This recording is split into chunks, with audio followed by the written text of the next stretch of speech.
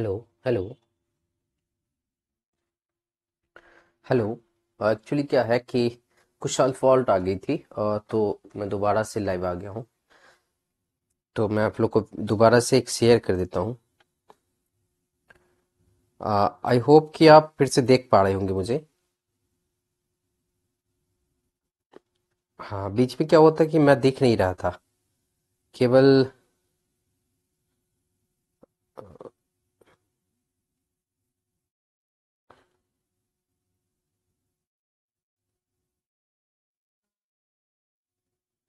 Okay, अब आप देख पा रहे होंगे। आप देख पा रहे हैं मुझे?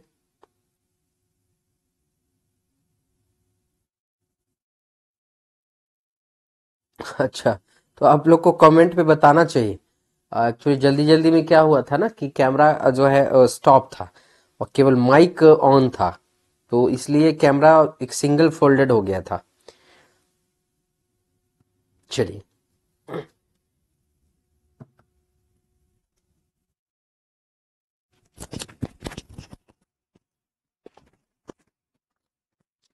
तो हम लोग चर्चा कर रहे थे इमेजिनेशन इमेजिनेटिव कैरेक्टर का बार्ड ऑफ़ एवन शेक्सपियर को कहा जाता है।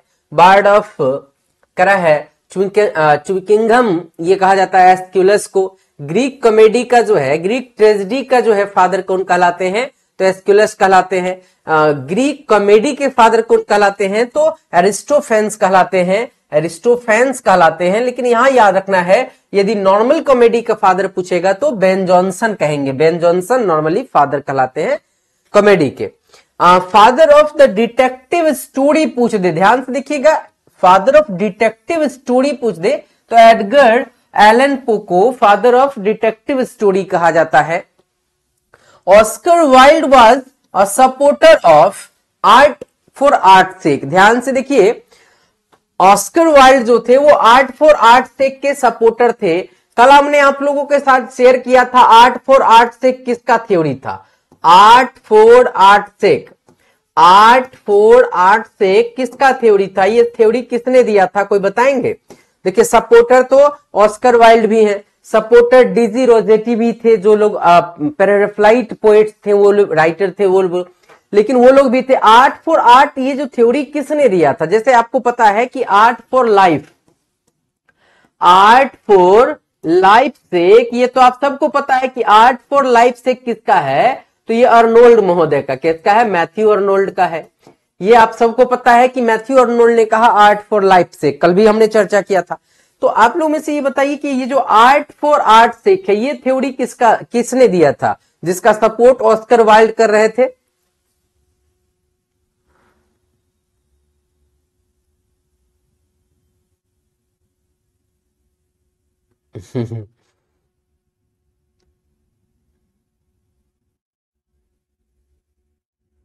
डीजी रोजेटी तो सपोर्ट कर रहे थे आर्ट फॉर आर्ट से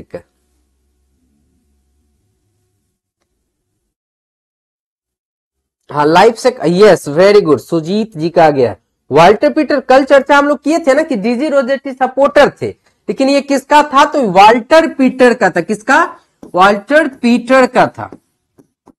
अरे नीट जे वाले प्रोफेसर साहब भी आ जाएँगे ना, तब भी आप क्वेश्चन पीजीटी का बना लीजिएगा। ये मेरा वादा है आपसे। Next moral choice is every करा everything in novel of Dickens Charles Dickens का जो नोवेल था, उसमें मोरल चॉइस एवरीथिंग था। मोरालिटी को वो ज़रूर दिखाते थे। William Wordsworth S T Coleridge Southey are called lake poet हमने कहा था कि जो लेक डिस्ट्रिक्ट के थे तो ये एस टी कॉलरीज साउदी और लेक पोइट कहलाते थे। और कौन? तो विलियम वर्ड्सवर्थ ये ध्यान रखना है, William Wordsworth S T Coleridge और साउदी को कहा जाता था लेक पोइट लेक एक डिस्ट्रिक्ट था तो रोमांटिक पोइट थे as well as lake poet कहलाते थे ये तीनों लोग। नेक्स्ट करा पिकबिक पेपर्स ये ध्यान रखना है, ये चार्ल्स डिकेंस का वर्क है, बहुत important Pickwick papers is the novel of Charles Dickens Pickwick paper किसका नोवेल था? चार्ल्स डिकेंस का नोवेल था पिकबिक पेपर याद रखना है पिकबिक पेपर किसका नोवेल था? चार्ल्स डिकेंस का। अब है जेन अयर ऐसा माना जाता है कि ये ऑटोबायोग्राफिकल नोवेल है किसका? तो चार्लोट ब्रॉन्टी का ऑटोबायोग्राफी है। क्या है? जेन अयर ऑटोबायोग्राफी है। ऑटो बायोग्राफी है जेन अयर का। तो ये देखिए सॉरी जेन अयर जो है ये ऑटोबायोग्राफी है चार्लोट ब्रॉन्टी का। अभी आपने देखा भी था, हेथक्लिफ नाम का कैरेक्टर पूछा गया था किसका? तो उसी तरह ये जेन अयर पूछ दे तो जेन अयर वर्क है चार्लोट ब्रॉन्टी का, ये ब्रॉन्टी सिस्टर में से एक है, और इनका वर्क है जेन अयर और ये इनका फ़ेमस वर्क है, और इनका ऑटोबायोग्राफी है। Pilgrim's Progress is a book of John Bunyan ये पिलग्रिम्स प्रोग्रेस नाम का वर्क जॉन बनियान का है। ये आर के जगह एन कर दीजिएगा। जॉन बनियान का वर्क है पिलग्रिम्स प्रोग्रेस ये सब किताब बहुत इंपॉर्टेंट है और आपको थोड़ा सा दिखाई कम दे रहा होगा। तो इसका पीडीएफ हमने आप लोगों को टेलीग्राम पे पिन कर दिया है सबसे ऊपर। भारतीय एकेडमी पटना टेलीग्राम चैनल है। उस चैनल पे जाके आप सबसे ऊपर इसे देख सकते हैं। बहुत इंपोर्टेंट वर्क हम आपके सामने ला रहे हैं। एक सौ छिहत्तर नंबर, आपसे डायरेक्ट क्वेश्चन आएगा old man and sea is a novel ओशिट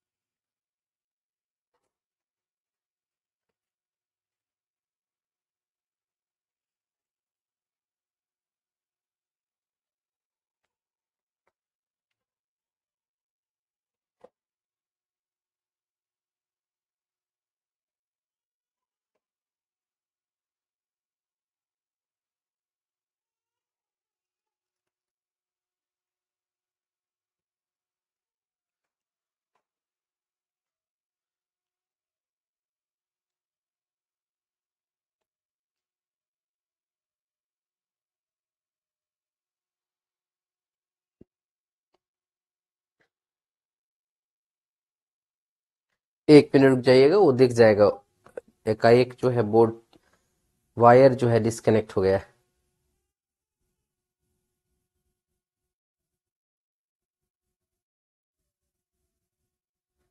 class चल रही है, आप दोबारा से चलाइएगा। मैंने कहा था ना, कुछ देर में खुद से ही वो बंद होके फिर चलने लगता है।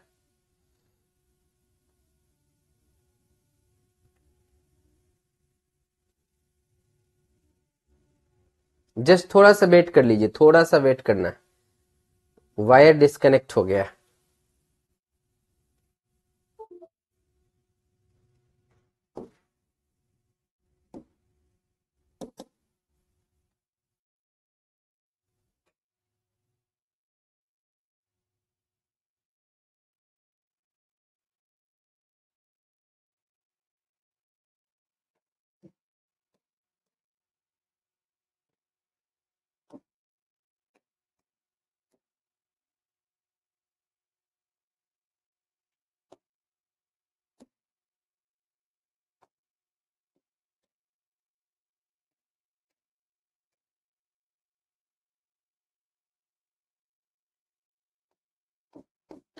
तो हम लोगों ने अभी पढ़ा था 160 देन लास्ट हम लोग चर्चा कर रहे थे ओल्ड मैन एंड सी का। किसका चर्चा कर रहे थे? ओल्ड मैन एंड सी का। ओल्ड मैन एंड सी बहुत ही इंपॉर्टेंट वर्क है ओल्ड मैन एंड सी और ओल्ड मैन एंड सी की यदि हम बात करें तो ये बहुत इंपॉर्टेंट वर्क है। ओल्ड मैन एंड सी ये लिखा गया है अर्नेस्ट हमिंगवे के द्वारा। और यहाँ से काफ़ी क्वेश्चन आता है, याद रखना है 84 डेज़ जो है 84 डेज़ तक एक मछली मारने वाला सेंटियागो नामक व्यक्ति होता है ओल्ड मैन। ओल्ड मैन होता है जिसका नाम सेंटियागो होता है, वो बेचारा मछली मारता है, लेकिन वो चौरासीवा दिन में उसको मछली पकड़ाता है। लोग उसे पनौती समझता है, लेकिन चौरासीवा दिन में जाके उसे मछली पकड़ा जाता है। उसी में एक मार्लिन नामक करेक्टर है और एक मैनोलिन नामक कैरेक्टर है। क्या इसमें बताएँगे, मैनोलिन और मार्लिन में मछली कौन है और लड़का कौन है? मार्लिन और मैनोलिन। आप लोगों में से किसने कहानी पढ़ा है? कभी ओल्ड मैन एंड सी की कहानी? ओल्ड मैन एंड सी बहुत ही फ़ेमस वर्क है अर्नेस्ट हेमिंगवे का। ओल्ड मैन एंड सी की यदि बात की जाए, ये बहुत फ़ेमस वर्क है। बहुत फ़ेमस वर्क है हेमिंगवे का। क्या किसी ने पढ़ा है इसे? ये उन्नीस का नोवेल है। उन्नीस सौ बावन का ये नोवेल है और बहुत फ़ेमस वर्क है। मतलब ऑर्डिनरी वर्क नहीं है, बहुत फ़ेमस वर्क है। उन्नीस सौ बावन में लिखा गया था। अब इसमें दो करेक्टर हमने चर्चा कर दिया। एक तो सेंटियागो खुद ही है, एक तो कौन है? सेंटियागो है। ये मेन करेक्टर है सेंटियागो इसके दो और करेक्टर है इसमें. एक मैरलिन है, एक मैनोलिन है. मैं आपको बता दूँ कि एक इसमें से लड़का है और एक मछली है. आपको बताना है कि मछली का क्या नाम है?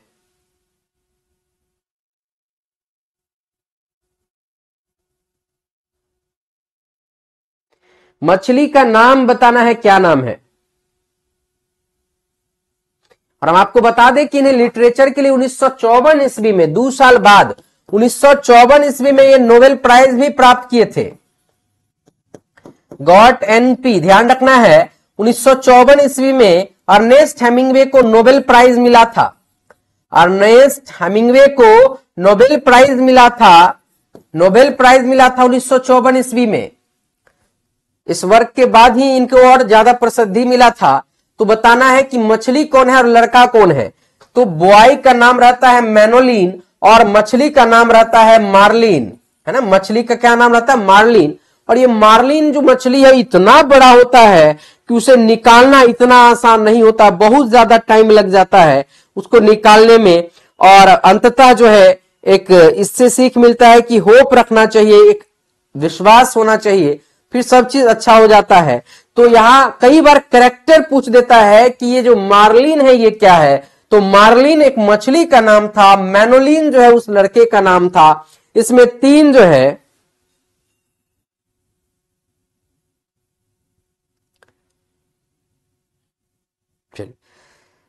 नेक्स्ट आइए। अगला हम चलते हैं, और ध्यान रखना है, तीनों करेक्टर का नाम। हाँ तिरपन में पुलित्जर प्राइज भी मिला था, बहुत बढ़िया। तिरपन में पुलित्जर प्राइज था, चौवन में नोबेल प्राइज थी। अब यदि हम बात करें, आगे जो मोस्ट इंपोर्टेंट है old man and sea is novel by Ernest Hemingway फिर कह रहा है मिल्टन का द फ्लॉस मिल्टन का तो करा है Milton the Floss is a novel by George Eliot का नोवेल है। ये ध्यान रखना है वर्क का नाम है। मिलियन द फ्लॉस है not Milton Mill on the Floss जो है, जॉर्ज इलियट का नोवेल है। जॉर्ज इलियट रोमांटिक नोवेलिस्ट थे, विमेन नॉवलिस्ट थे। सॉरी विक्टोरियन विमेन नॉवलिस्ट थे। कौन थे? विक्टोरियन विक्टोरियन विमेन नॉवलिस्ट थी। विमेन नॉवलिस्ट थी कौन? जॉर्ज इलियट, और आप इसे नाइनटीन सेंचुरी नॉवलिस्ट भी कह सकते हैं। William Blake was famous for is mysticism he wrote the marriage of heaven and hell William Blake जो थे, ये जाने जाते थे मिस्टिसिज्म के लिए he wrote the marriage of heaven and hell इन्होंने लिखा। इसके बाद है sensuousness is a chief feature of John Keats poetry आपसे क्वेश्चन पूछ दे। जॉन किट्स के बारे में हमने कई बार चर्चा किया कि जॉन किट्स की मृत्यु टीवी से हो गया था टिवोक्लॉसिस से। टर्वोक्लॉसिस से इनकी मृत्यु हुई थी और इनका उम्र उस समय बहुत कम था। सर क्लास नहीं चल रहा। क्लास तो चल रहा है। मैं खुद भी देख रहा हूँ।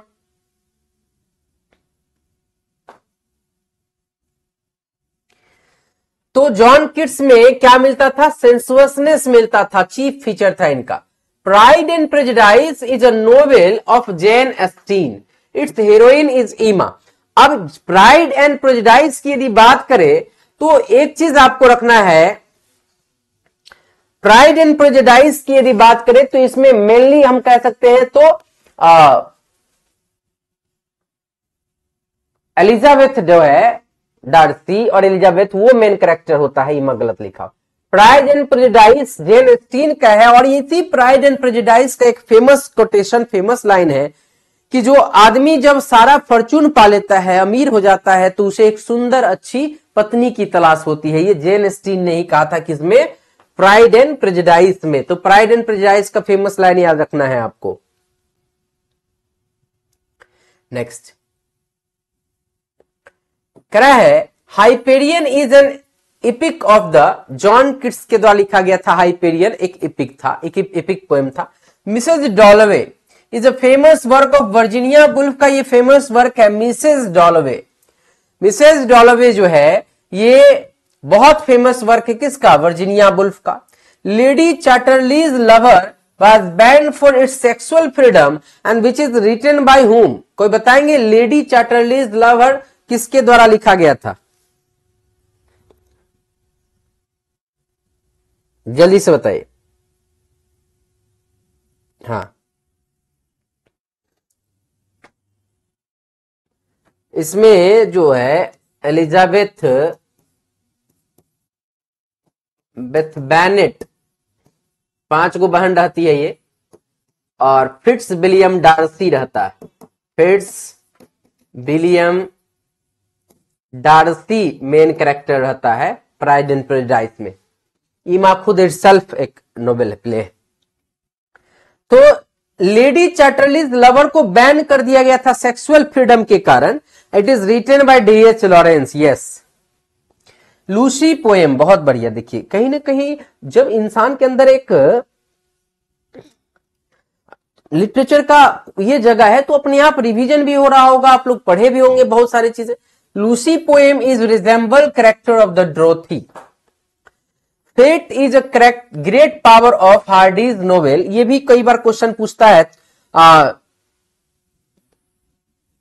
हार्डी का जो नोवेल है थॉमस हार्डी कह रहा हार्डी का नोवेल में फेट जो है वो ग्रेट पावर में होता है। फेट मतलब भाग्य।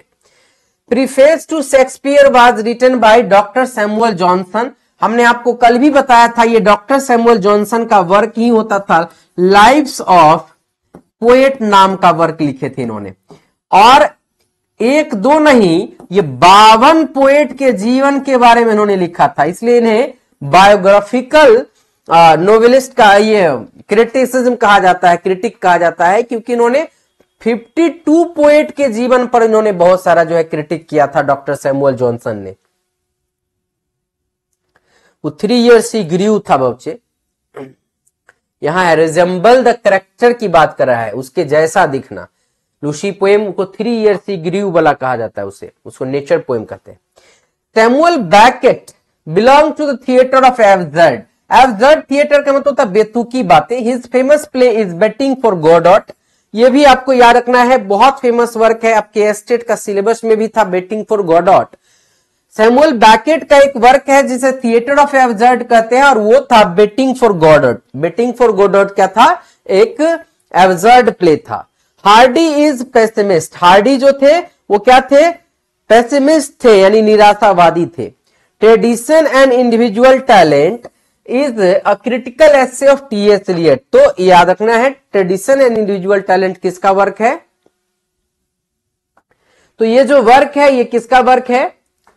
सबसे बड़ी चीज़ जानते हैं, हमने ग्रुप में शेयर तक कर दिया है वीडियो को कि भाई लाइव है और हमारे अपने बच्चे स्टूडेंट जो पीजीटी के वो भी कॉल कर रहे हैं, जबकि सामने से वो देख रहे हैं कि सर लाइव क्लास ले रहे हैं।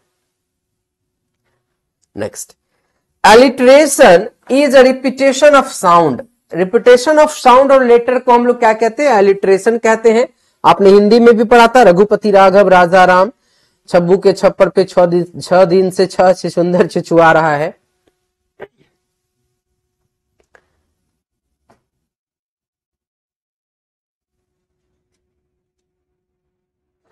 नेक्स्ट ट्वेल्थ नाइट एक्चुअली ये ट्वेल्थ में एफ़ होना चाहिए, है ना?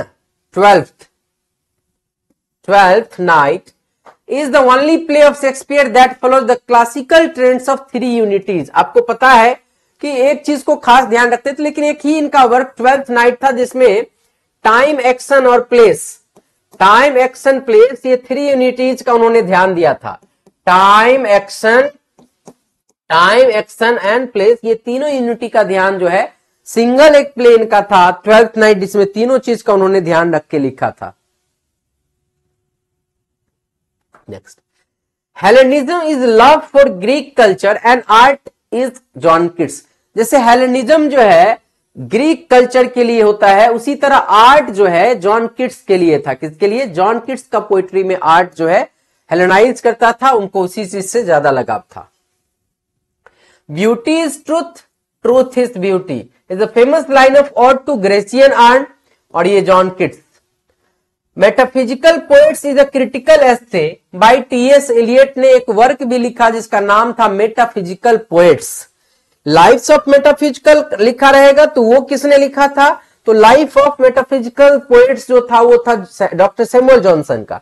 लेकिन सीधे सीधे मेटाफिजिकल पोएट्स जो है ये क्रिटिकल एस्थे था बाय टीएस एलियट उसके बाद आप देख रहे हैं सेलिंग टू विंजेंटियम और सेकेंड कमिंग ये दोनों पोएम बहुत फ़ेमस है, याद रखना है। टू करा are sailing to Byzantium and second coming BPSC के मेन बीपीएससी मेंस पेपर जो लिखना चाहते हैं, उन्हीं में भी ये पोएम पढ़ना है। Are two famous poem by W Yeats वो यही डब्ल्यू बेट्स हैं जो क्या है आयरिस पोएट हैं। आयरिस पोएट है। इन्हें ही उन्नीस ईस्वी में क्या मिला था? नोबेल प्राइज मिला था एनपी मिला था। क्या मिला था? नोबेल प्राइज मिला था। इन्हीं का सेकेंड कमिंग जो पोएम है, इस सेकेंड पोएम पोएम पोएम को हम क्या कहते हैं? तो आप कह सकते हैं, जो फर्टिल करता है, क्या करता है? भविष्यवाणी बताता है, या क्राइम फिक्शनल पोएम कह सकते हैं। तो सेलिंग टू बिन सेकेंड कमिंग जो है, इसका लाइन इस बार वही बात हुआ प्रोफेटिक बोलिए डबल डीलिंग बोलिए क्राइम फिक्शनल पोएम बोलिए।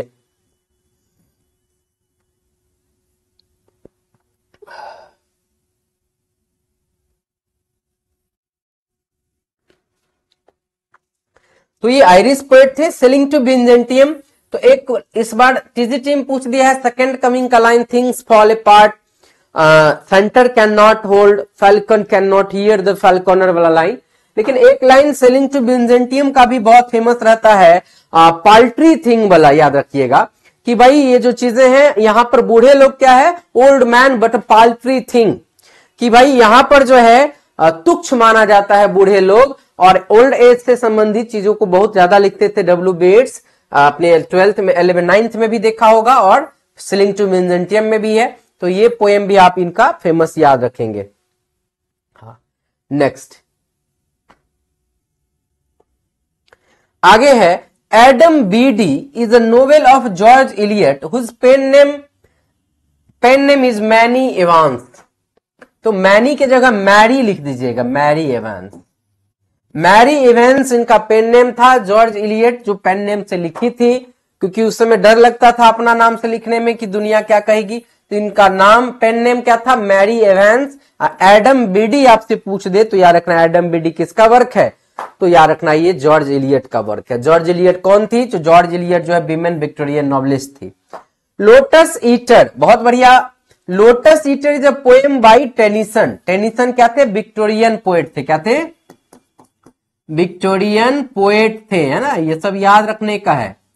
नेक्स्ट वुदरिंग हाइट्स देखिए, आप जरा ध्यान से, इसका करेक्टर पूछा है इमली ब्रॉन्टी का। वुदरिंग हाइट का करेक्टर हेथक्लिफ पूछा था। हेथक्लिफ पूछा था। बुदरिंग हाइट का करेक्टर हेथक्लिफ पूछा था। आपको याद होगा कैथरीन इसमें जो है एक्ट्रेस होती है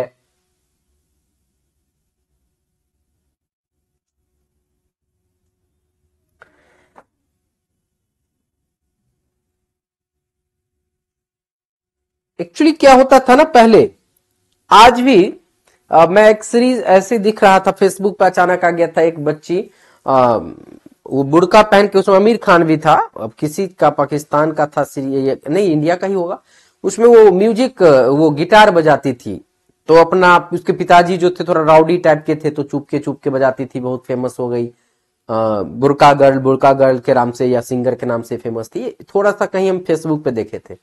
उन दिनों विक्टोरियन एरा की बात है तो महिलाओं को तो पाबंदी थी, आज भी पाबंदी है। बहुत सारे महिलाओं को, बहुत सारे लड़कियों के लिए ठीक है, आज टिकटॉक बनाती है, ये करती है। लेकिन सबको ये फ्रीडम नहीं है आज भी। तो उन दिनों भी बहुत सारी चीज़ों का फ्रीडम नहीं था तो वो लोग अपने नाम चेंज करके और गुमनाम लिख दिया करते थे। बस नेम अपने नाम की जगह पेन नेम यूज़ कर लिया करते थे। उस समय में हाँ अपना नाम नहीं के दूसरे नाम से उन्होंने लिख लिया। फ़ेमस होने पर जब लगा कि अब अपना नाम बता सकते हैं हाँ अपना नाम ओरिजिनल छुपा के दूसरे नाम से छाप लेते थे। वो पेन नेम कहलाता था। पेन नेम से जो है लड़का प्रैंक भी करता था स्कूल वगैरह में भी डर लगता था।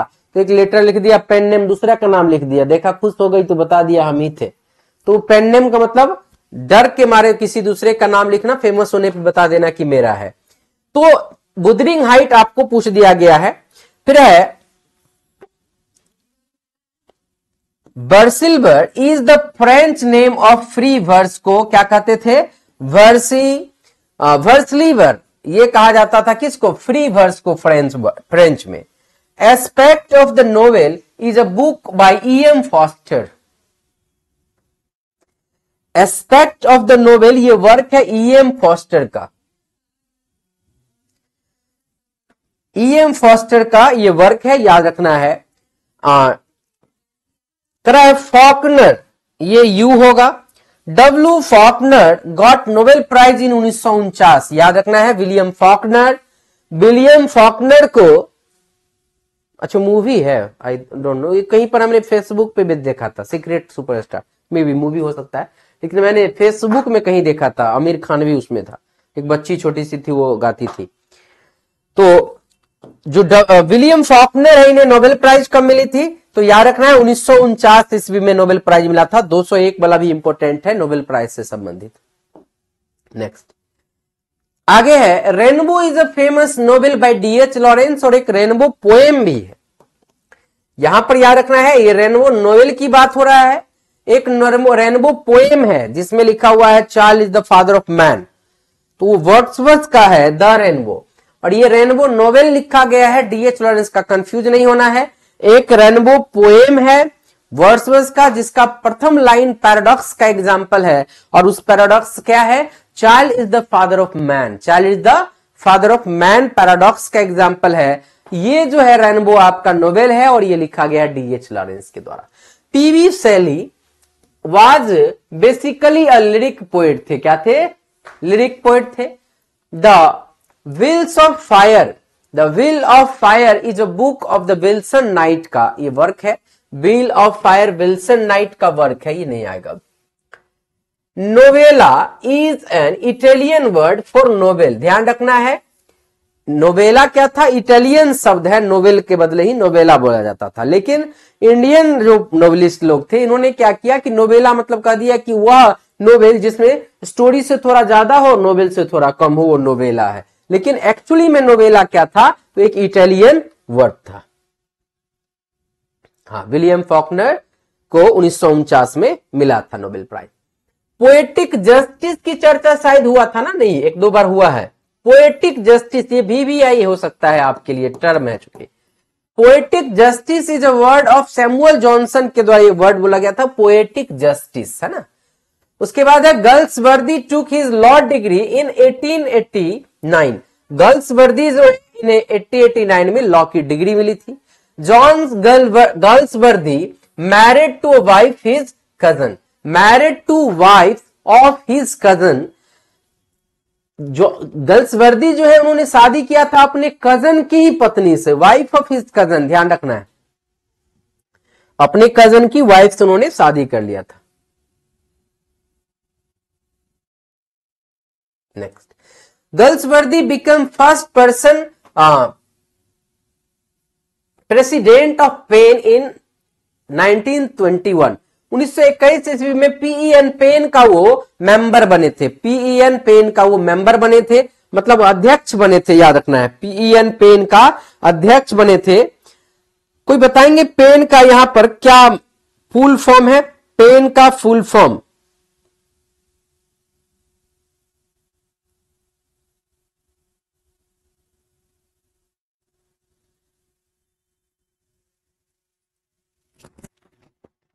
एक ग्रुप था पोएट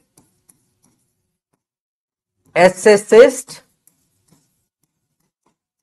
एंड नॉवलिस्ट का। यही पेन है। तो इसी ग्रुप के जो है, वो अध्यक्ष बने थे 1921 ईस्वी में। कब बने थे?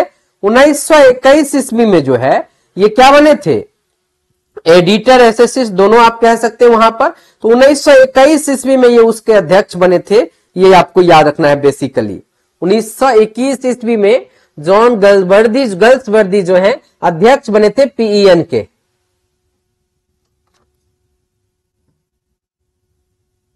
क्लियर अभी तक वीडियो लाइक बहुत कम है, नहीं के बराबर। क्यों? अब गुस्सा है आप लोग। तो बेचारे किड्स तो मर ही गए कम एज में और उससे मरने से पहले उन्हीं के दोस्त को, उनकी वाइफ को लेके चले गए।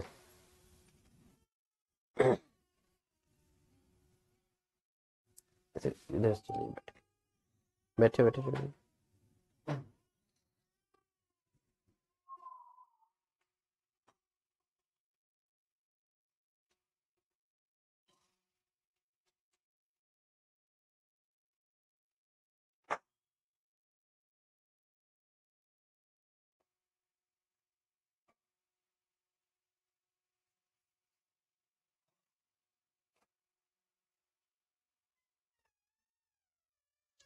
बैठे अभी मैंने सिक्स टू एट का क्वेश्चन नहीं देखा है और हमारे पास कॉल भी बहुत कम आया है तो अभी हम आपको कंफर्म नहीं बता सकते।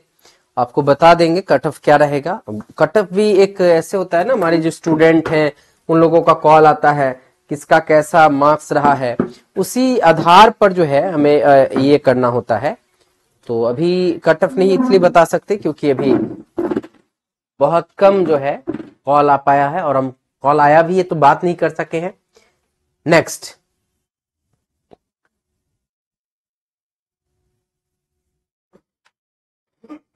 चलिए। नेक्स्ट क्वेश्चन देखेंगे हम लोग। क्या कह रहा है? Galsworthy become the first president of PEN and Galsworthy got Nobel prize in 1932 ध्यान रखना है। लेकिन इन्होंने क्या किया? जो नोबेल प्राइज मिला और जो पैसा मिला donated prize money to PEN को दे दिया। तो उन्होंने जिसका अध्यक्ष थे वो पेन के पेन का मतलब पोएट एसेसिस्ट और नॉवलिस्ट का एक ग्रुप था। उसको जो है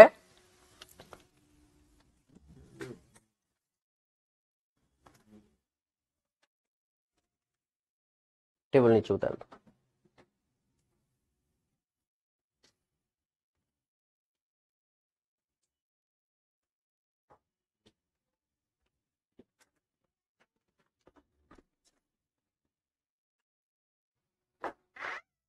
तो सारा पैसा उन्होंने दे दिया, ये आपको याद रखना है कि इन्हें कब नोबेल प्राइज मिला था, ठीक है? नेक्स्ट है, इसके आगे कह रहा है कि Galsworthy got order of merit award in उन्नीस ध्यान रखना, इन्हें दो नोबेल मिला, एक नोबेल प्राइज मिला था 1932 में, और उन्नीस ईस्वी में ऑर्डर ऑफ़ मेरिट अवार्ड मिला था। ऑर्डर ऑफ़ मेरिट अवार्ड एक और व्यक्ति को मिला था, वाल्टर डिलामेयर, को याद होगा, एलिजाबेथन एज में।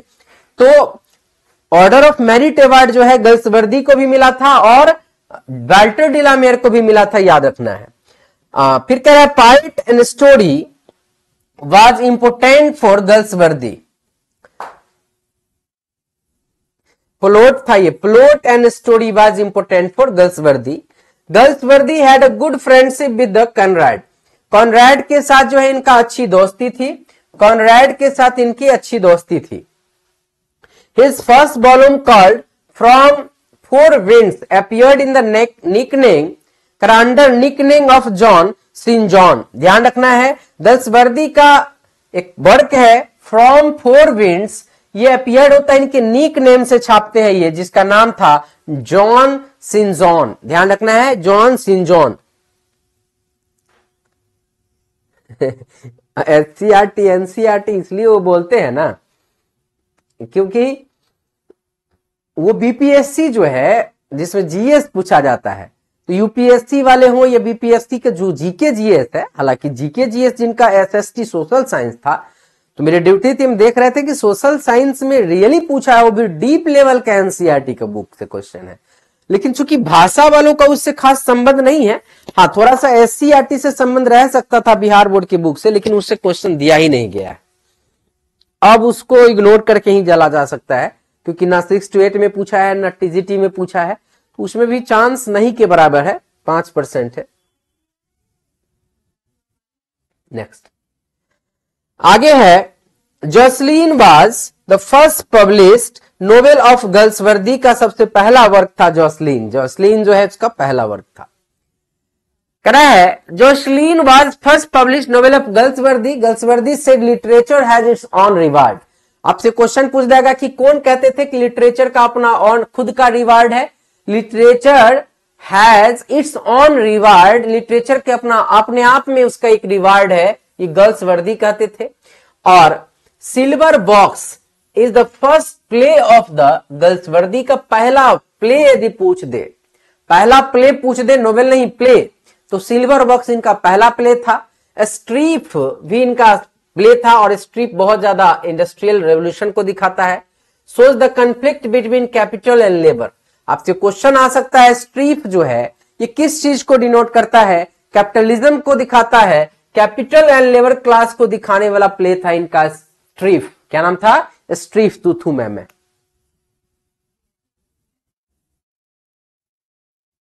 next David Roberts is the leader of the labourers in Strife David Robert जो था स्ट्रीफ का जो है लीडर था, क्या था? स्ट्रीफ का लीडर का नाम था डेविड रॉबर्ट्स और John Wilder is the character of the Family Man Jack Barthwick is the character of the Silver Box का करेक्टर का नाम था जॉन बार्थविक अब करेक्टर इसलिए क्योंकि ये सब करेक्टर कई बार टीजीटी पीजीटी और यूजीसी नेट जेआरएफ में पूछ दिया गया है। इसलिए इन सारे करेक्टर्स की चर्चा कर। अदरवाइज़ तो करेक्टर की कमी नहीं पड़ेगी। इतना नोवेल है, इतना प्ले है। सारा करेक्टर को इंक्लूड करना बड़ा मुश्किल होता है, लेकिन कुछ करेक्टर है जो कई बार पूछा गया है। कह रहा है there can be only one master are the words of the Anthony in Strife नामक वर्क में? एक एंथनी होता है जो क्या होता है? वर्किंग क्लास के लिए कौन होता है? तो उसका नाम डेविड रॉबर्ट होता है leader of the labourers in the Strife और एक एंथनी जो हेड है तो वो कहता है there can be only one master एक ही मालिक हो सकता है। तो ये एंथनी का लाइन था स्ट्रीप में मालिक का। Forsyte saga is a famous trilogy of Galsworthy ये फ़ेमस है। गर्ल्स वर्दी का ट्रिलॉजी पूछ दे तो याद रखना है, क्या है? गर्ल्स वर्दी का ट्रिलॉजी है Forsyte saga Milton was born in the Bread Street of London कब? 1608 में 1608 में। He was called lady Christ in school ध्यान रखना है, बचपन में चूँकि स्मार्ट थे, बाल भी बहुत सुंदर थे। लोग इसे लेडी क्रिस्ट कहते थे, किसे? मिल्टन को। मिल्टन को क्या कहा जाता था? लेडी क्रिस्ट 1608 में जन्म हुआ और उसके बाद जो है, सोलह ईस्वी में ये अंधे हो गए। सोलह में क्या हो गए? ब्लाइंड हो गए और उस समय जब ये ब्लाइंड हुए तो उम्र था इनका चौवालीस साल। कितना साल था? चौवालीस साल मिल्टन का। He got his education in the Sant Paul school and Cambridge में इनकी पढ़ाई लिखाई हुई थी मिल्टन की in sixteen thirty two he got his M A M A की डिग्री उन्हें सोलह में मिला था masque of Comus was written in 1634 करा was performed in the Ludlow Castle Ludlow Castle में जो है इसको प्ले किया गया था 1634 में मास्क ऑफ़ कैम्यूस को लिसिडास, याद रखना है, बहुत फ़ेमस वर्क है 1638 का। Lycidas 1638 was written on the death of Edward King अपने मित्र एडवर्ड किंग के मृत्यु पर ये लिखते हैं, लिसिडास। लिसिडास आप लोगों को पार्ट वन में पढ़ना था। इंग्लिश ऑनर्स आपने यदि किया है, और खासकर पाटलिपुत्रा यूनिवर्सिटी में पढ़े होंगे या मगध वगैरह में तो लिसिडास जो है फ़र्स्ट ईयर में ही पढ़ना था पटना यूनिवर्सिटी में भी पढ़ना था। मिस्टर खान, भारतीय एकेडमी, पटना मिस्टर शान। भारतीय एकेडमी, पटना, टेलीग्राम चैनल पे मिल जाएगा ये। नेक्स्ट है सोलह दो 1643 में ही मैरिड मैरी पॉवेल से उन्होंने शादी किया। 1644 में इन्होंने वर्क लिखा, बहुत फ़ेमस रहा, और वो किस पर बेस्ड था? तो देखिए, ये वर्क बेस्ड था फ्रीडम ऑफ़ प्रेस या फ्रीडम ऑफ़ स्पीच पर। ये दोबारा चर्चा हो रहा है, एक बार और चर्चा हुआ था। 1644 में इन्होंने लिखा था, एडियोपैजिटी का। ये लिखा गया था was written on press of free freedom of press या फ्रीडम ऑफ़ स्पीच के बारे में। फिर सोलह सौ उनचास he selected foreign secretary to Commonwealth के लिए। सोलह में मिल्टन को चूज़ किया गया। सोलह में he wrote the tenure of kings and magistrate to support murder of King Charles के सपोर्ट में उन्होंने लिखा था। उसके बाद दोबारा इन्होंने, चूँकि तीन शादी किया था ना, याद है ना, तीन शादी हुआ था मिल्टन का। सोलह ईस्वी की यदि बात की जाए, अंधे होने के बाद he married Catherine Woodcock से 1663 में दोबारा तीसरा शादी इन्होंने किया। सोलह में ही मैरिड एलिजाबेथ मेंसोल से शादी किया था। यानी तीन शादी मिल्टन की हुई थी, ये याद रखना है।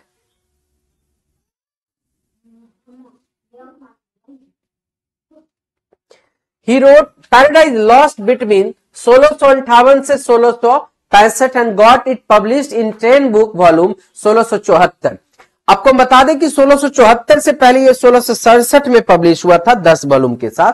बाद में 12 वॉल्यूम हो गया था 1674 में जाके। It was expanded in 12 book तो यहाँ ध्यान रखना है थोड़ा सा यहाँ मिस्टेक क्या हुई है? आ, ये जो है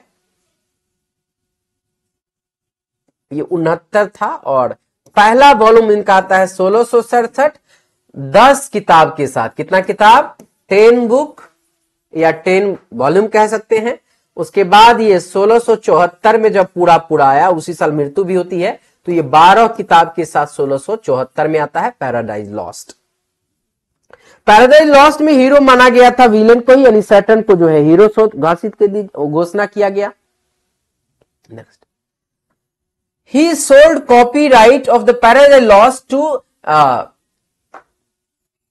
Simon Simon in five pound में उन्होंने बेच दिया। ये नहीं पूछेगा नेट से अगर पूछा जाता है। Milton wrote Paradise Regain on the suggestion of the Thomas Ellwood का इट वाज पब्लिश्ड इन सोलह सौ इकहत्तर में एक और वर्क उनका आया था उसका नाम था Paradise Regained and Samson Agonistes with Samson Agonistes के साथ मिलकर लिखा गया था paradise paradise regained. He died in 1674 due to God. The theme of Paradise Lost is justifies the bed of God. Ways of God to man ये famous line है, ये famous work है आपसे पूछ देगा कि पैराडाइज लॉस्ट का theme बताइए 1674 का वर्क है पैराडाइज लॉस्ट पैराडाइज लॉस्ट का थीम आपसे पूछ दे तो याद रखना है justifies the ways of God to man ये इसका थीम था Milton invokes Milton invokes invokes music three times in Paradise Lost आपसे पूछेगा कि पैराडाइज लॉस्ट में कितने टाइम मिल्टन जो है इन्वॉक करता है तो थ्री टाइम्स जो है म्यूज़िक इन्वॉक करता है। करा है म्यूल करा है Mulciber is main architect of Pandemonium Michael leads Adam and Eve out of Paradise Lost आपसे पूछेगा कि पैराडाइज लॉस्ट से एडम एंड ईव को जो है आउट बाहर किसने किया था? तो माइकल ने। Milton was influence with Virgil and Homer से बहुत प्रभावित थे। वर्जिल एंड होमर रोमन बहुत ज़्यादा ग्रीक रोमन पोएट थे। उससे बहुत प्रभावित थे। Subject matter of the Paradise Lost is disobedience of man ये भी पूछ सकता है थीम के अलावा। कि पैराडाइज लॉस्ट का जो है मैं थोड़ा पानी पीना चाहूँगा।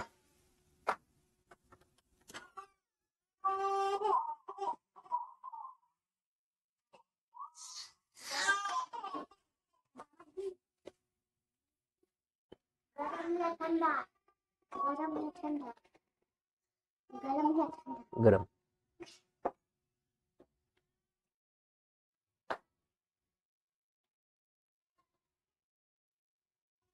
कुमारी रत्ना, पैसेज पर फोकस, टीचर करके कुछ नहीं कर पाएँगे। पैसेज जो होगा बेसिकली वो प्रैक्टिस आप खुद करेंगे, हम अपने, आपको हम दिया गया है, और वो आप तभी बना पाएँगे जब लैंग्वेज को थोड़ा सा कम से कम क्वेश्चन समझ पाएँगे। पैसेज हमने आपको दिया है मॉक टेस्ट में भी कराया है तो उसको आप प्रैक्टिस कीजिए। पैसेज के लिए परेशान होने की ज़रूरत नहीं, क्योंकि वो आपकी चीज़ें हैं।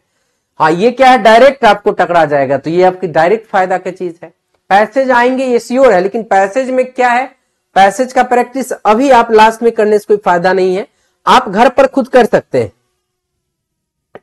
अब फोकस तो आप लोग कीजिए पैसेज पे। मैं तो बस वो सीरीज़ लेके आऊँ ताकि डायरेक्ट हु क्वेश्चन आ जाए यहाँ से। Beelzebub is the second to Satan in power पर लॉस्ट की यदि बात करें तो पहला पावरफुल तो था सेटन सेटन के बाद दूसरा पावरफुल करेक्टर यदि था तो वो था विल जवाब। बिल जवाब जो था आ, ये जो था वो सेकेंड पावरफुल कैरेक्टर था। ग्रेनिया इज़ द खरा है next civilly muse of Milton Milton का जो है म्यूज कौन था? उसका नाम क्या था? तो ग्रैनिया फिर Milton said the spirit of Lord is upon me the spirit of Lord is upon me the spirit of ईश्वर का जो स्प्रीट है वो मेरे ऊपर है मिल्टन ने कहा the spirit of Lord is upon me Spenser was master of Milton Spenser was the master of Milton फिर Milton cuts us all out and ancient and ancient too was said by Dryden Dryden ने कहा कि Milton cut कर दिया हमें। किस चीज़ से? All art and ancient जो चीज़ें हैं उससे। Too was said by doctor Dryden Dryden जो है, चूँकि वो क्रिटिक थे फादर ऑफ़ क्रिटिक तो उन्होंने ये बात को कहा। पब्लिश अड़तीस में हुआ था। L allegro and P Penseroso करा है एंड स्नोई जो joy and melancholy joy and melancholy is true respectively ये जो है ज्वाई एंड मेलंकली को दिखा रहा था, खुशी और दुख को। The ideas of masque was borrowed from Italy masque का जो आइडिया है, जो मिल्टन ने लिखा तो वो कहाँ से प्रभावित था? तो ये प्रभावित जो है, आपको याद रखना है, ये कहाँ से वर्ड लिया था? बोरो किया गया था इटली से। Paradise Lost is written in blank verse ये क्वेश्चन आ सकता है। पैराडाइज लॉस्ट जो था, वो किसमें लिखा गया था? तो ब्लैंक वर्स में लिखी गई थी।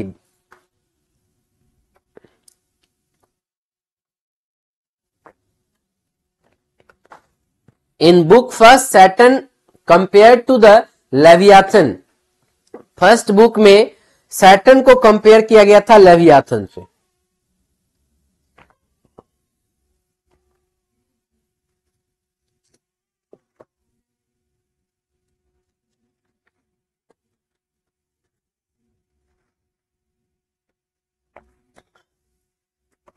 रिटेन इन सैतीस, लेकिन पब्लिश अड़तीस था।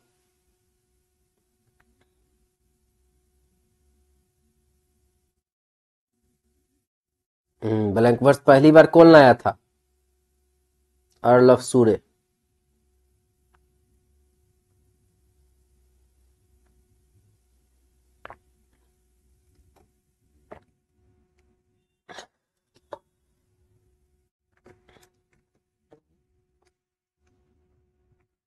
बिल्कुल घबराइए नहीं ये सीरीज़ आपको काम करेगा बहुत ज़्यादा क्योंकि ये मिक्स जो है इंपोर्टेंट चीज़ है ना इसमें मिक्स किया हुआ है। बहुत सारी चीज़ों को एक साथ मिक्स करके मैंने यहाँ पे लाया है ताकि आपको डायरेक्टली इसका फ़ायदा मिल सके। और डायरेक्टली फ़ायदा दिखेगा भी आप एग्ज़ाम में बैठेंगे। नेक्स्ट आप देखिए 255 क्या कह रहा है? आ, 255 में कह रहा है कि बुक फ़र्स्ट सैटन कंपेयर किया गया था लेवियाथन से। उसके बाद हम लोग आगे बढ़ेंगे। 1632 से 1638 is known as the Horton period in the Milton's career Milton का कैरियर में मिल्टन का कैरियर में जो है मिल्टनियंस कैरियर में 1632 से 1638 जाना जाता है हॉल्टन पीरियड करा है? मलोच एल है ये is besmeared with the human blood है ना? मलोच क्या था? Besmeared with the human blood मानव खून का प्यासा था। बेलियाल कैम करा last of the fallen of angels सबसे लास्ट में कौन आता है? Belial. Milton style is known as grand style. Milton के स्टाइल को तीस प्लस ही रहने का चांस है, पच्चीस से तीस।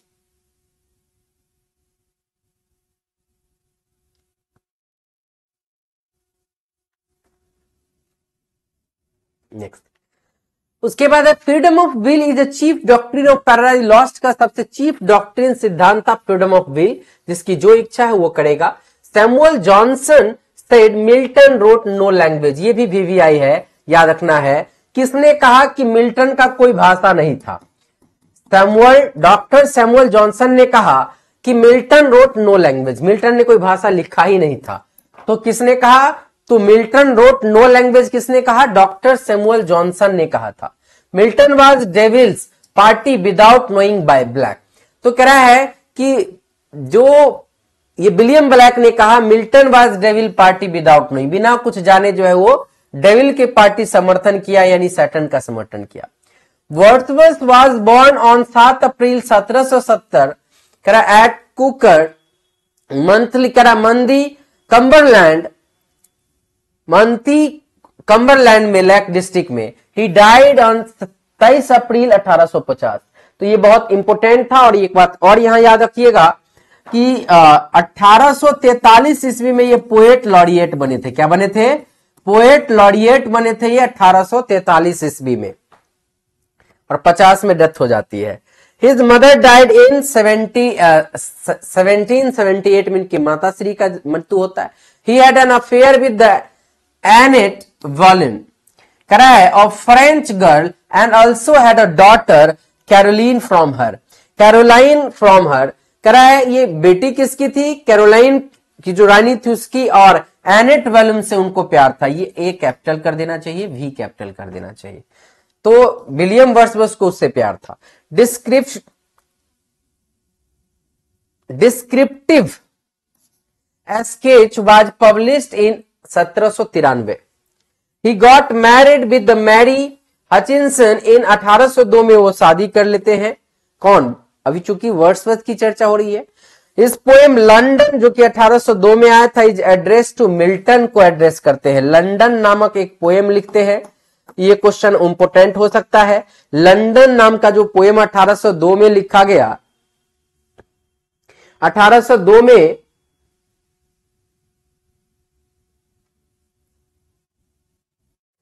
अठारह में लिखा गया था और ये लिखा गया था, ये एड्रेस किया गया था मिल्टन को। नेक्स्ट अल्टरनेटिव टाइटल जो है of Ruth is influence of nature कह रहा है alternative title of Ruth is influence of nature subtitle the prelude का is growth of the poet's mind ये प्रील्यूड जो है द प्रील्यूड इनका वर्क है। और ये जो वर्क है, इसमें चौदह किताब था, कितना? फोर्टीन। और ये जो इसका सब टाइटल जो है पूछ दिया जाए प्रिल्यूड का सब टाइटल आपसे पूछा जाता है बहुत बार तो सब टाइटल था growth of poet's mind growth of poet's mind जो है माइंड ये प्रिल्यूड का सब टाइटल था। Michael's cottage is called evening star ध्यान रखना है Michael's cottage is called evening star कहा जाता है। क्या कहा जाता है? इवनिंग स्टार कहा जाता है माइकल कोटेज को। Be are pressed the heavily laws is life of the fountain ये फाउंटेन कर दीजिएगा फाउंटेन की जगह दो सौ चौहत्तर। कई टाइपिंग मिस्टेक्स हुई हैं।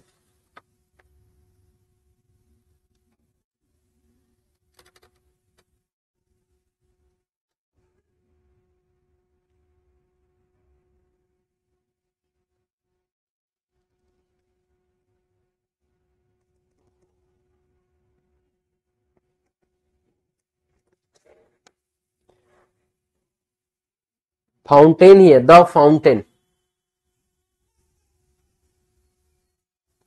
उसके ओह there is a blessing in this gentle breeze is opening line of the Prelude ये भी भी, हो सकता ओह there is a blessing in this gentle breeze ये ओपनिंग लाइन है किसका? Is opening line of the Prelude का ओपनिंग लाइन है। चूँकि एग्ज़ाम टीजीटी वाला में पूछा है ओपनिंग लाइन तो याद रखना ये प्रिल्यूड का ओपनिंग लाइन है।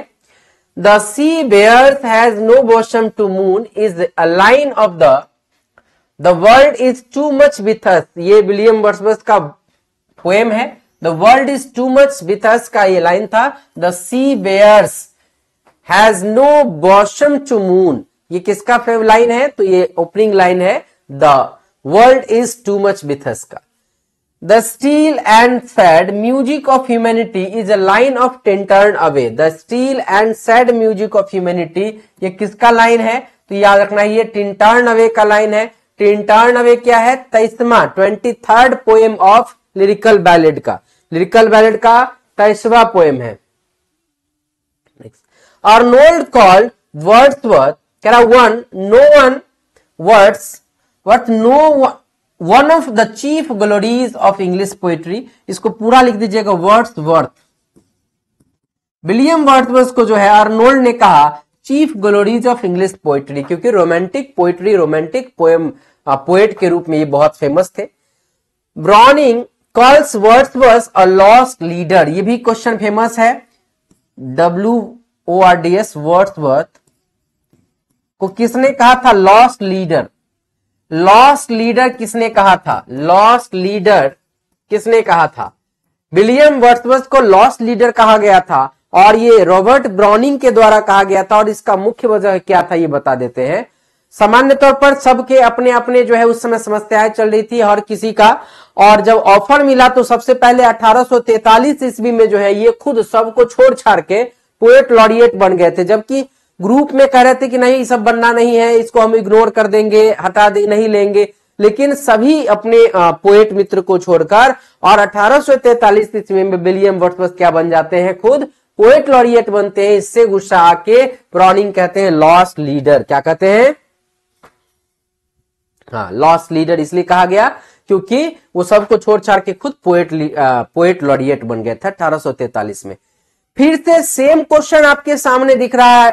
280 नंबर देखिए, जो टीजीटी में पूछा भी है।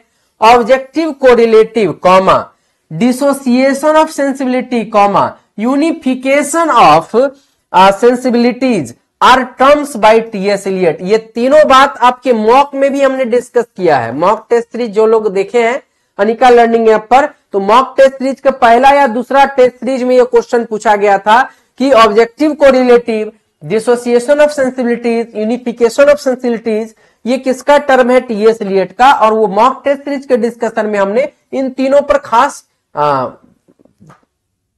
लेक्चर भी कुछ कुछ दिया गया था, बताया भी गया था कि आखिर ये सब क्या है और इसका ग्रेट एग्ज़ाम्पल भी दिया गया था। Next upon the Westminster bridge was written about London when he was going to France with Dorothy जब अपने बहन के साथ ड्रॉथी के साथ वो जा रहे थे, तब ये लिखा गया था बेस्ट मिनिस्टर ब्रिज के बारे में। और ये पाँच साल बाद, पाँच साल पहले वो गए थे, दोबारा पाँच साल बाद जब जा रहे थे फ्रांस, तब वो लिखा गया था, upon Westminster bridge. About London के बारे में लिखा गया था। Wordsworth became the poet laureate in 1843 William Wordsworth जो थे 1843 ईस्वी में क्या बन गए थे? तो याद रखना है, ये 1843 ईस्वी में बन गए थे पोएट लॉरिएट। और 1850 ईस्वी में क्या हुआ था इनका? ये मर गए थे, सीप इनका जो है नाव जो था 1850 ईस्वी में रेक हो गया मतलब ताश नश हो गया, और इसी कारण से वो वहाँ पर मर जाते हैं। विलियम वर्चबस विलियम वर्चबस ब्रोदर है sorry brother passed away in shipwreck इनके बारे में नहीं है, इनके भाई के बारे में, बहन के बारे में, भाई। करा brother passed away in passed away मतलब मर जाना सीप रेक में मर जाता है।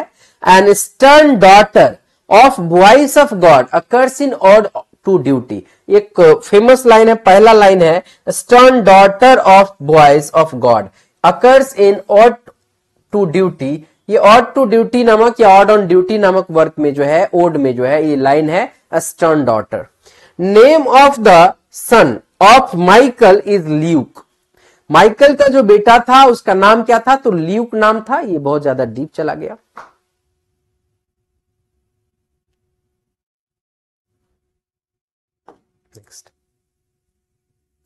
नेक्स्ट क्वेश्चन देखिए।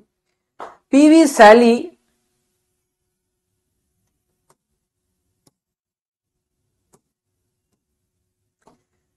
के बारे में आप जानते होंगे पीवी सैली कह रहा PV Sally call worth a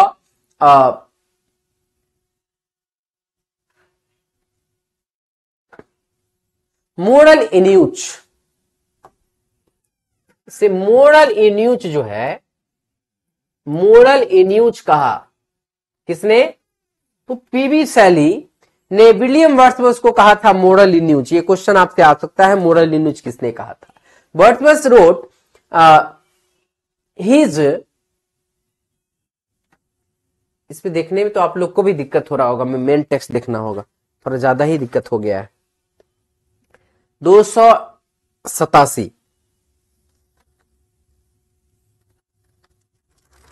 Wrote the his best poem under influence of S.T. Coleridge. हाँ ये लाइन देखना है William Wordsworth wrote his uh, poem under influence of यहाँ लिखिएगा under influence of influence of S T Coleridge S T Coleridge से बहुत प्रभावित थे कौन विलियम वर्ड्सवर्थ कह रहा है W J Long said that humour is not present in Wordsworth work J Long ने कहा किसके बारे में? विलियम वर्ड्सवर्थ के बारे में कि विलियम वर्ड्सवर्थ के वर्क में क्या नहीं था? तो भाई उस, उसके अंदर ह्यूमर नहीं था। ह्यूमर बिल्कुल नहीं था विलियम वर्ड्सवर्थ के वर्क में। ये किसने कहा था? जे लॉन्ग ने डब्ल्यू जे लॉन्ग ने कहा था। Next the only love sonnet of the work Wordsworth is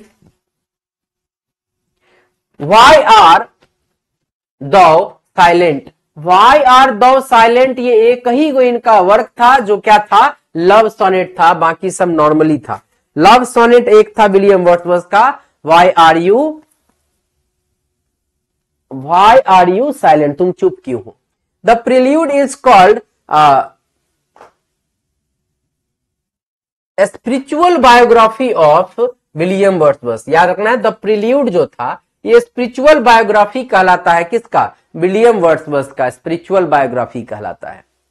Wordsworth said a poet is a man of speaking to man W Wordsworth कहते हैं कि poet is a man speaking to man poet कौन है? एक आदमी है जो आदमी से बोलता है या बात करता है। Humble and rustic life is predominant in Wordsworth के पोइट्री में। हम्बलनेस एंड रस्टिक लाइफ होता था गाँव देहात के लाइफ होता था। Solitary reaper was singing in Gaelic language में लिखा गया था और गाया गया था। सॉलिटरी अपियर किसमें लिखा गया था? गैलिक लैंग्वेज में लिखा गया था ओल्ड इंग्लिश में। Tintern Abbey is a dramatic lyric है। टिंटान अवे क्या है? ड्रामेटिक लिरिक है। टिंटान अवे लास्ट पोएम है विलियम वर्ड्सवर्थ का। विलियम वर्ड्सवर्थ का लास्ट पोएम है आ, इस, इसका लिरिकल बैलेड का लास्ट पोएम है Tintern Abbey Shakespeare was born in 18 तेईस अप्रैल पंद्रह ये बीवीआई में से एक हो सकता है, आपको याद रखना है। At Stratford upon Avon of work करा है वारविक सायर ये वीवीआई में से एक हो सकता है कि शेक्सपियर का जन्म कब हुआ था, कहाँ हुआ था। तेईस अप्रैल पंद्रह at Stratford upon Avon of Warwickshire upon Avon क्या था? वो नदी का तट, समुद्र तट किनारा था, नदी का, समुद्र का किनारा था। He was baptised on 26 of April पंद्रह में।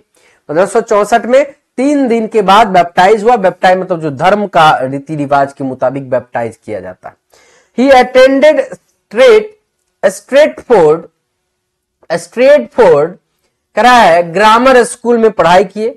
पंद्रह में ही मैरिड एनी हैथवे से इनकी शादी हुई।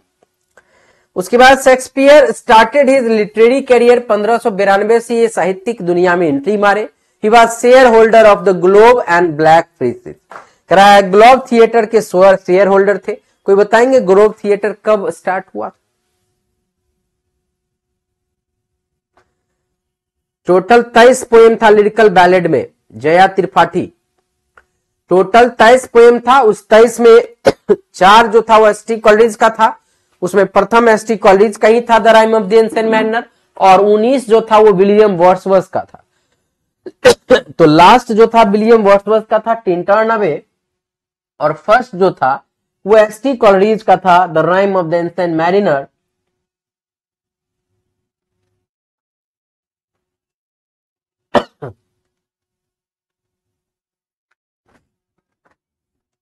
next next कहता है आगे आप देखेंगे यहाँ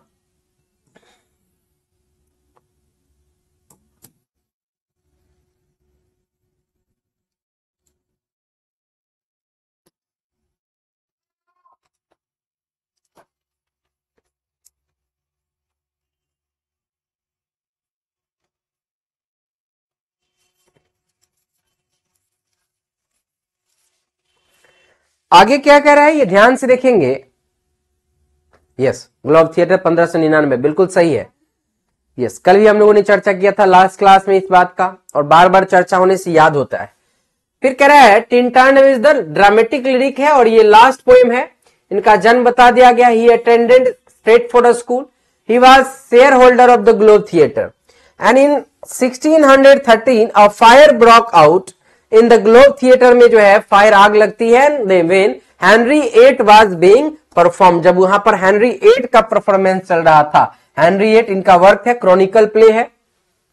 आउट ऑफ़ और शेक्सपियर ने टोटल एक सोनेट लिखा था, याद रखना है। सनेट ऑफ़ शेक्सपियर ने एक सोनेट लिखा। उसमें 126 sonnet are address to Earl of Southampton W H क्या नाम था? डब्ल्यू एच को वो एड्रेस किया गया एंड अट्ठाईस are address to a dark lady Fitton Mary Fitton कई बार नाम पूछ देता है डार्क लेडी का। तो डार्क लेडी का नाम पूछ देते, याद रखना मैरी फिटोन मैरी फिक्सन लिखा गया। मैरी फिटोन मैरी फिटोन जो था मैरी फिटोन मेन लेडी थी डार्क लेडी में। करा पब्लिश इन सोलह सौ नौ। Comedy of error in shortest play Shakespeare करा है प्ले ऑफ़ शेक्सपियर का सबसे शॉर्टेस्ट प्ले 1770 लाइन का है कॉमेडी ऑफ़ एरर करा है while Hamlet is the biggest one सबसे लंबा पूछ दे तो हैमलेट याद रखना है, सबसे लंबा मतलब जिसमें ज़्यादा लाइन है, सबसे लॉन्ग बिगेस्ट प्ले और सबसे शॉर्टेस्ट प्ले पूछे तो comedy of error 1770 line Ben Jonson said Shakespeare knew a small Latin and less Greek ये भी फ़ेमस है, किसने कहा कि शेक्सपियर जो है, बहुत कम ग्रीक जानता था? है ना? लेस ग्रीक करा है न्यू अ स्मॉल लैटिन कुछ लैटिन और कुछ नहीं के बराबर ग्रीक जानता था, ये किसने कहा था?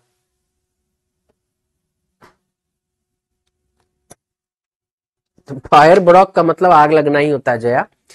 तो ये था आपका तीन सौ चौबीस जो है मैराथन सीरीज़ आपका, और ये बहुत वीवीआई है। टाइपिंग मिस्टेक्स थोड़े से हैं, लेकिन आप गूगल का हेल्प ले लीजिएगा, जहाँ भी वर्ड में लगेगा, ये वर्ड अटपटा लग रहा है। गूगल का हेल्प लीजिएगा, या वीडियो में भी हमने कोशिश करा है सही कराने का। इसके अलावा नेक्स्ट सीरीज़ जो है, हम आपको फिर से कल से लेके आ रहे हैं जिसमें आपको 40 क्वेश्चन जो है, या 80 क्वेश्चन जो है लिटरेचर का होगा। वो एमसीक्यू बेस्ट होगा। आपका उसको फिर डिस्कस करेंगे, आप फिर आंसर देंगे और आंसर के जस्ट बाद मैं उसका डिस्कशन कर दूँगा। तो कल पुनः हम आपके सीरीज़ को लेके आएँगे और इसके अलावा आप सभी लोगों को इंडियन राइटर का जो है पीडीएफ मिल गया है। इसके अलावा प्रत्येक राइटर का बुक्स और उसके कब पब्लिकेशन डेट है, इसका भी आपको पीडीएफ मिला हुआ है। उस सबको अच्छे से देखिए फिगर ऑफ़ स्पीच को देखिए।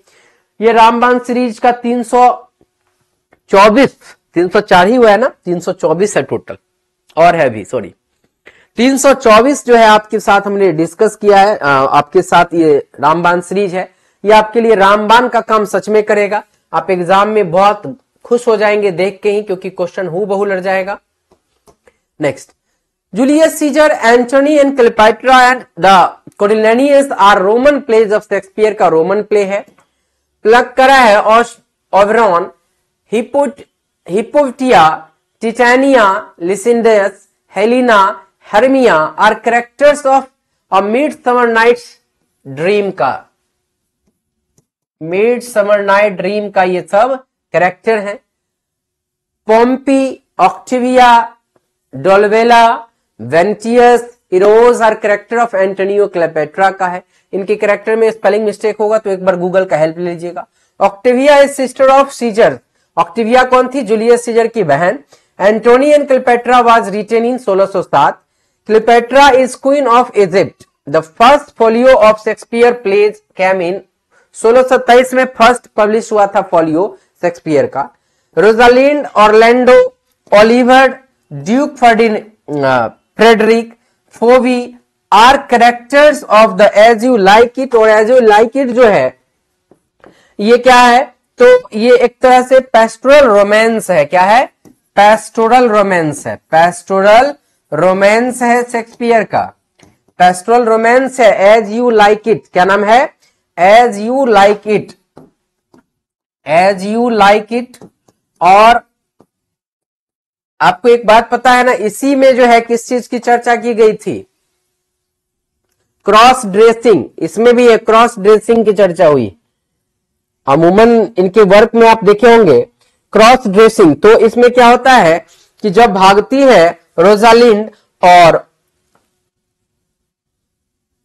इसकी कज़न तो ये दोनों क्या करती है, ये लड़का का भेष बन के भागते लड़का का भेष धारण कर लेते हो। और सेम आपको ट्वेल्थ नाइट में भी है क्रॉस ड्रेसिंग का चर्चा। तो जूलियस सीजर छोड़ के सब में ऑलमोस्ट जो है क्रॉस ड्रेसिंग का दिखाया है। तो क्रॉस ड्रेसिंग मतलब होता है, लड़की का लड़का का भेष धारण कर लेना। लड़का के द्वारा लड़की बन जाना, लड़की के द्वारा लड़का बन जाना, ये क्रॉस ड्रेसिंग होता है। नेक्स्ट हाँ फॉरेस्ट ऑफ़ अर्डन का सीन है। What a piece of work is a man are words of Hamlet Hamlet कहता है हेमलेट में उसका लाइन है, ये कहे, कौन कहा कि what a piece of work is a man मानव कैसा वर्क है? ये वर्क हेमलेट ने बोला था। टू बी और नॉट टू बी अलग अलग हटा दीजिएगा, ये टू अलग कर दीजिएगा, बी। टू बी और not to be. To be और not to be, not to be.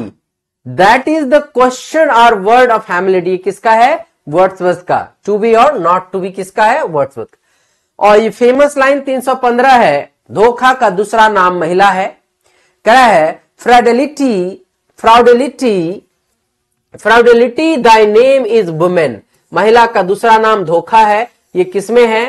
तो वर्ड्स ऑफ़ हेमलेट में ये हेमलेट बोलता है कि महिला का दूसरा नाम धोखा है।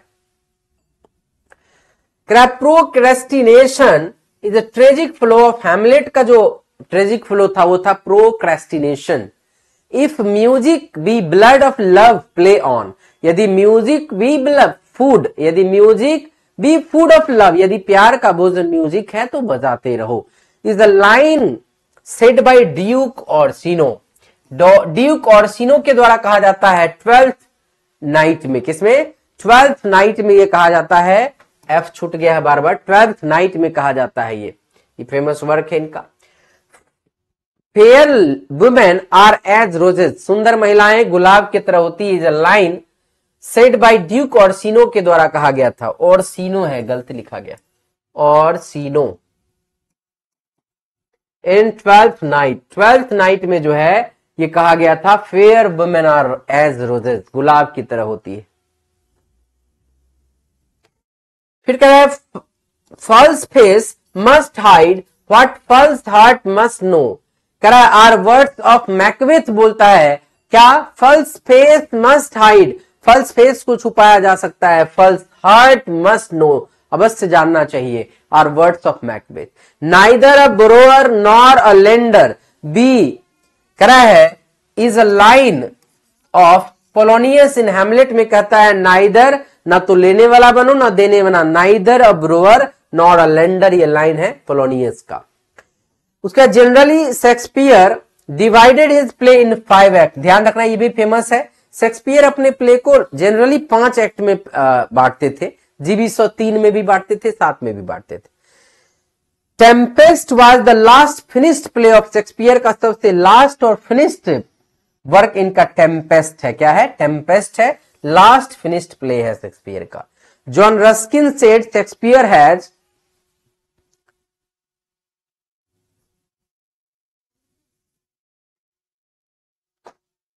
हाँ ये बहुत फ़ेमस लाइन है। जॉन रस्किन ने कहा Shakespeare has only heroines only and not करा only heroines not heroes as no heroes only heroines Ruskin ने कहा कि शेक्सपियर के पास केवल हीरोइन होता था आ, नो हीरो कोई हीरो नहीं। क्योंकि आप देखेंगे जूलियस इसमें आप देखेंगे तो नाम से ही पता चलेगा। हालाँकि ओथेलो तो ओथेलो के नाम से ही है। The colour of in the Globe Theatre का जो कलर था फ्लैग का ब्लैक होता था ड्यूरिंग द ट्रेजडी जब प्ले किया जाता था तो काला कलर दिखाया जाता था। और व्हाइट कलर दिखाया जाता था कॉमेडी के लिए। व्हाइट कलर कॉमेडी के लिए दिखाया जाता था और ट्रेजडी के लिए काला कलर दिखाया जाता था ग्लोब थिएटर में, ठीक है? तो ये सब थोड़ा सा देखने की चीज़ें थी। आपको बहुत इंपॉर्टेंट होगा। ये सीरीज़ का पीडीएफ आपको भारतीय अकेडमी पटना टेलीग्राम पे मिल जाएगा।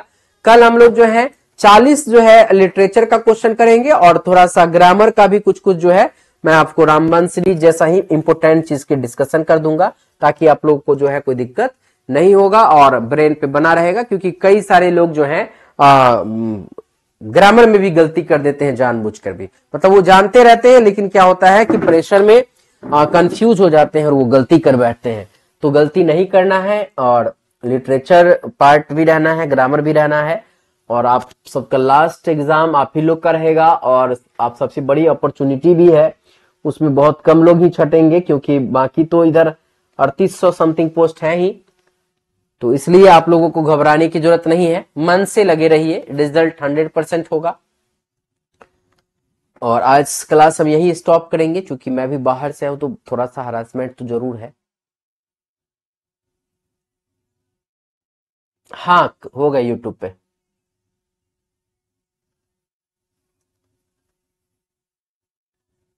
मनीष कुमार जी जी ग्रामर भी करवाएँगे।